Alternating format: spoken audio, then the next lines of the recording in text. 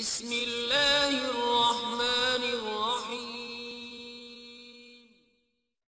سعودی عرب کے ولی عہد شہزادہ محمد بن سلیمان نے حال ہی میں امریکی اخبار نیو یارک ٹائمز کو دیے گئے انٹرویو میں کہا ہے کہ ہم ملک میں اسلام کو اس کی اصل شکل میں واپس لانا چاہتے ہیں۔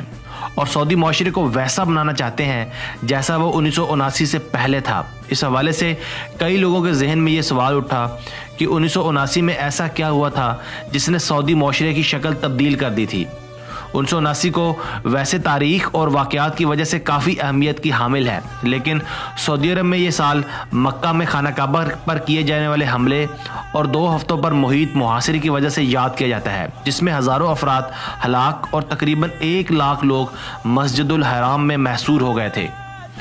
اڑتیس برس قبل چار دسمبر کو سعودی حکومت نے فرانسیسی کمانڈوز پاکستانی فوج اور سعودی فوج کی مدد سے لڑائی کا خاتمہ کیا، جس کا آغاز بیس نومبر کو ہوا تھا، جب چار سو سے پانچ سو شدت پسندوں نے یکم محرم الحرام چودہ سو ہجری کو نئے اسلامی سال کے آغاز پر خانہ کعبہ پر حملہ کر کے ایک لاکھ عبادت گزاروں کو مسجد میں محصور کر کے خود انتظام سنبھال لیا تھا۔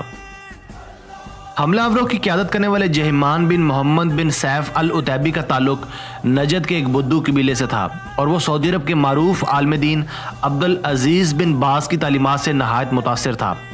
عبدالعزیز بن باز انیس سو چالیس اور انیس سو پچاس کی دہائی میں سعودی عرب کو جدت پسندی کی راہ پر گامزد کرنے کی شاہی کوششوں کے خلاف تھے اور اس بارے میں تقاریر اور تنقید کرتے تھے۔ لیکن بعد میں سعودی حکومت نے بن باز کو مرکزی مفتی کے عہدے پر فائز کر دیا۔ تاہم ان کی تنقید ختم نہ ہوئی۔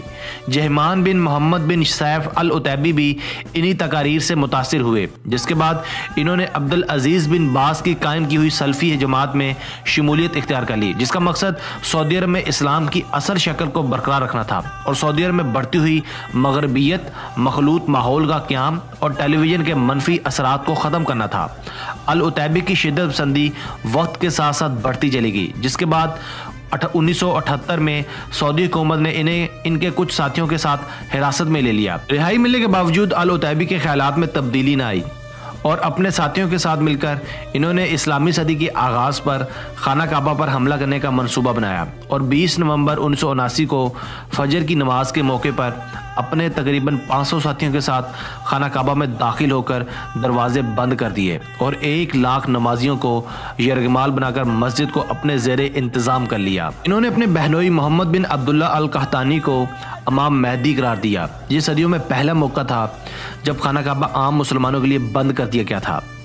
سعودی حکومت نے اس واقعے سے نپٹنے کے لیے اپنی فوج بھیجی، لیکن خانہ کعبہ کے تقدس اور کم تربیت کی وجہ سے سعودی فوجی بغاوت کرنے والوں کے خلاف متاثر کن کاروائی کرنے میں ناکام رہی۔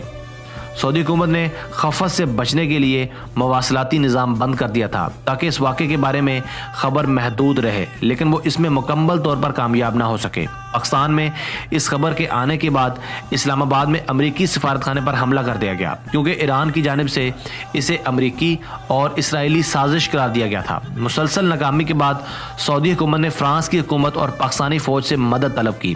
صحافی یارو سلاف ٹرافی مو نے اس واقعے پر مبنی اپنی کتاب میں لکھا ہے کہ فرانسیسی کمانڈوز نے سعودی فوج کو ہنگامی تربیت دی تاکہ وہ شدت پسندوں کا خاتمہ کر سکے۔ لیکن کیونکہ مکہ میں غیر مسلم افراد کا داخلہ ممنوع ہے، تو سعودی اہلکار پاکستانی فوجوں کی مدد سے چار دسمبر کو یہ بغاوت بلاخر ختم کرنے میں کامیاب ہوئے۔